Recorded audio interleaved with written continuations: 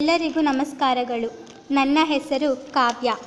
ನನ್ನ ಫ್ರೆಂಡ್ಸ್ಗಳಾದ ಛಾಯಾದೇವಿ, ಕುಸುಮ, ಗಂಗಾಪ್ರಸಾದ್, ಸಂತೋಷ್, ರೆನಾಲ್ಡ್ ಮತ್ತು ನಮ್ಮ ಶಿಕ್ಷಕರಾದ ಎಂ. ಸವಿತಾ ಟೀಚರ್ ಎಲ್ಲರೂ ಕೂಡಿಕೊಂಡು ಭಾರತ ದೇಶದ ಸಾಂಪ್ರದಾಯಿಕ ಉಡುಗೆಯಾದ ಸೀರೆ. ಸೀರೆಯನ್ನು ತಯಾರು ಮಾಡುವ ಸ್ಥಳಕ್ಕೆ ಅಂದರೆ ರಾಜೇಂದ್ರ ನಗರದಲ್ಲಿರುವ ಕೈಮಗ್ಗಕ್ಕೆ ಹೋದೆವು. ನಾವು ಅಲ್ಲಿಗೆ ಹೋದ ಮೇಲೆ ಅಲ್ಲಿಯ ಮಾಲೀಕರಾದ ರಾಜುರವರು ನಮಗೆ ಪರಿಚಯರಾದರು. ನಂತರ ಅಲ್ಲಿ ಕೆಲಸ ಮಾಡುವ ಒಬ್ಬ ಅಜ್ಜ ನಮಗೆ ಮಗ್ಗದ ಎಲ್ಲ ಪರಿಚಯವನ್ನು ತಿಳಿಸಿಕೊಟ್ಟರು. ಅಲ್ಲಿ ಕಲಿತುಕೊಂಡಿರುವುದೇನೆಂದರೆ ನೂಲಿನಿಂದ ಸೀರೆಯನ್ನು ಹೇಗೆ ತಯಾರಿಸುತ್ತಾರೆ, ನೂಲಿಗೆ ಬಣ್ಣ ಹಾಕುವುದನ್ನು ತಿಳಿಯಲು ಯಂತ್ರದ ಹೆಸರು ಹಾಗೂ ಕಾರ್ಯವನ್ನು ತಿಳಿದುಕೊಂಡೆವು. ಅದು ಹೇಗೆ ಅದು.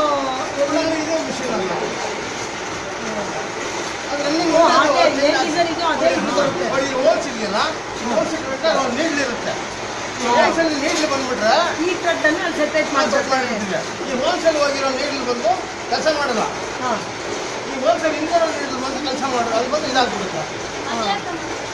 ಅದು ಮೇಲಿದೆ ಮೇಲಿದೆ ಹಾಂ ರೇಷ್ಮೆ ಸೀರೆ. ನಮಗೆ ಈ ಕಡೆ ಇಲ್ಲಿ ಕೈ ಕೈಗಳಿಂದ ಬರುತ್ತೆ ಕಳಿಸ್ತಾರೆ ಇಲ್ಲಿ ರಾಮನಗರ ಸಿಗ್ಲೇಕ ಈ ಕಡೆಯಿಂದ ಬರುತ್ತೆ ಕೈನಲ್ಲೇ ಮಾಡೋಕ್ಕಾಗಲ್ಲ ಅದು ಮಗ್ಗ ಹಾಂ ಕರೆಂಟಿಂದ ಮಾಡೋಕ್ಕಾಗಲ್ಲ ಆ ಕೈನಲ್ಲಂದ್ರೆ ನೂರು ನೂರು ಪರ್ಸೆಂಟ್ ಕೈನಲ್ಲೇ ಮಾಡಬೇಕು ನಾವು ಅದು ಮಗ್ಗ ಕೆಲಸ ಮಾಡುತ್ತೆ ತಯಾರಾಗುವ ಪ್ರತಿಯೊಂದು ಹಂತಗಳ ಬಗ್ಗೆ ತಿಳಿದುಕೊಂಡೆವು. ಸೀರೆಗೆ ಹಾಕುವ ಪಾಲಿಶ್ ಮಹತ್ವವನ್ನು ತಿಳಿದುಕೊಳ್ಳಲಾಯಿತು. ಸೀರೆ ತಯಾರಿಸುವ ಯಂತ್ರದ ಹೆಸರು ಪವರ್ ಲೂಮ್ ಮಿಷಿನ್. ಅವರು ಒಂದು ದಿನಕ್ಕೆ ಒಂದೇ ಸೀರೆಯನ್ನು ತಯಾರಿಸುತ್ತಾರೆ. ಮತ್ತು ರೇಷ್ಮೆ ಗೂಡನ್ನು ತಂದು ಅದರಿಂದ ದಾರವನ್ನು ತಯಾರಿಸಿ ದಾರಕ್ಕೆ ಬಣ್ಣ ಹಾಕುತ್ತಾರೆ. ಅವರಲ್ಲಿ ಡಿಸೈನಿಂಗ್ ಕಾರ್ಡ್ ದೊರೆಯುತ್ತದೆ. ಆ ಕಾರ್ಡ್ನಿಂದ ಡಿಸೈನ್ ಮಾಡುತ್ತಾರೆ. ಇಲ್ಲಿ ಒಟ್ಟು ಆರು ಜನ ಕೆಲಸ ಮಾಡುತ್ತಾರೆ. ಅವರು ಅನೇಕ ಬಗೆಯ ದಾರಗಳನ್ನು ಉಪಯೋಗಿಸಿ, ಅಂದರೆ ಬಣ್ಣ ಬಣ್ಣದ ದಾರಗಳ, ಬಣ್ಣ ಬಣ್ಣದ ದಾರಗಳು, ಚಿನ್ನ, ಬೆಳ್ಳಿ ಹಾಗೂ ತಾಮ್ರದ ದಾರವನ್ನು ಉಪಯೋಗಿಸುತ್ತಾರೆ. ಇದು ರೇಷ್ಮೆ ಸೀರೆ ತಯಾರಿಸುವ ಪವರ್ ಲೂಮ್ ಮಿಷಿನ್. ಇದನ್ನು ಕನ್ನಡದಲ್ಲಿ ವಿದ್ಯುತ್ ಚಾಲಿತ ಹೊಲಿಗೆ ಕೈಮಗ್ಗ ಎಂದು ಕರೆಯುತ್ತಾರೆ. ನಮಗಿಷ್ಟ ಆಗುವಂತಹ ಬಣ್ಣ ದಾರಗಳನ್ನು ಹಾಗೂ ಡಿಸೈನ್ ಕಾರ್ಡ್ಗಳನ್ನು ಯಂತ್ರದಲ್ಲಿ ಅಳ, ಅಳವಡಿಸಿಕೊಳ್ಳುತ್ತಾರೆ. ದಾರಗಳ ಜೋಡಣೆ ಸರಿಯಾಗಿದೆಯೇ ಇಲ್ಲವೆಂದು ನೇಕಾರರು ಪದೇ ಪದೇ ನೋಡುತ್ತಿರುತ್ತಾರೆ.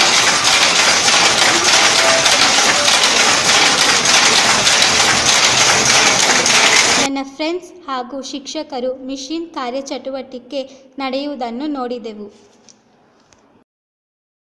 ಟೆಸ್ಟಿಂಗ್ ಮಾಡುವಾಗ ಐದು ಎಳೆಯ ದಾರಗಳನ್ನು ಬಳಸಿದರೆ ತುಂಬ ತೂಕವಿರುವ ಸೀರೆಯು ತಯಾರಾಗುತ್ತದೆ ಹಾಗೂ ಎರಡು ಮೂರು ಎಳೆಯ ದಾರಗಳನ್ನು ಬಳಸಿದಾಗ ಸೀರೆಯ ತೂಕ ತುಂಬ ಕಡಿಮೆ ಇರುತ್ತದೆ. ಕೊನೆಗೆ ಸೀರೆಗಳನ್ನು ತಯಾರಿಸಿ ಅಂಗಡಿಗಳಿಗೆ ಮಾರಾಟ ಮಾಡುತ್ತಾರೆ. ಗ್ರಾಹಕರು ಕೂಡ ಇಲ್ಲಿ ಬಂದು ಕೊಂಡುಕೊಳ್ಳುತ್ತಾರೆ. ನಾವು ಅಲ್ಲಿಗೆ ಹೋದ ಮೇಲೆ ಪ್ರತಿಯೊಂದು ವಿಷಯವನ್ನು ತಿಳಿದುಕೊಂಡೆವು.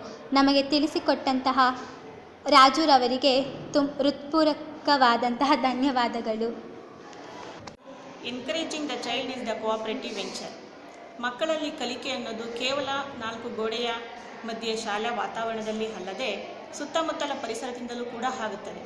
ಸೊ ಈ ಹಿನ್ನೆಲೆಯಲ್ಲಿ ನಮ್ಮ ಶಾಲೆಯಿಂದ ಒಂಬತ್ತನೇ ತರಗತಿ ವಿದ್ಯಾರ್ಥಿಗಳನ್ನು ಶಾಲೆಯ ಹತ್ತಿರದ ಒಂದು ಸ್ಥಳಕ್ಕೆ, ಅಂದರೆ ರೇಷ್ಮೆ ಸೀರೆ ತಯಾರಿ ಮಾಡುವಂತಹ ಕೈಮಗ್ಗ ಸ್ಥಳಕ್ಕೆ ಭೇಟಿಗೆ ಕರೆದುಕೊಂಡು ಹೋಗಲಾಯಿತು ಕೇವಲ ಒಂದು ದಾರದಿಂದ ರೇಷ್ಮೆ ಸೀರೆ ಸಿದ್ಧತೆ ಆಗುವಂತಹ ಎಲ್ಲ ಹಂತಗಳನ್ನು ಬಹಳ ಸವಿಸ್ತಾರವಾಗಿ, ವಿವರವಾಗಿ ನಮ್ಮ ಶಾಲಾ ಮಕ್ಕಳಿಗೆ ಆ ನೇಕಾರರ ಸಂಪೂರ್ಣವಾದಂತಹ ಮಾಹಿತಿಯನ್ನು ದೊರಕಿಸಿಕೊಟ್ರು.